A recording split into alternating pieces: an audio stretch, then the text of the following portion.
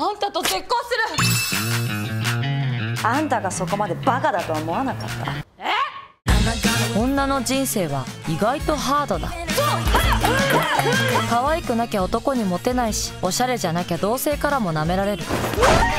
どんだけリア充だよこの女。今日泊まってこはい心の準備が。振られちゃった。今どこにいるの ?2 年半付き合った彼氏が他の女とでき婚とか私はあんたの味方だから。ハローあの男との結婚か。長年の親友との友情。どっちか選べっつってんの。いい加減にしてよ。全ての女性たちに送る応援ムービー。いやいやいやむしろこれからでしょ。ベルのバカ女。バカ女がイケイケバカ女。我が道を行け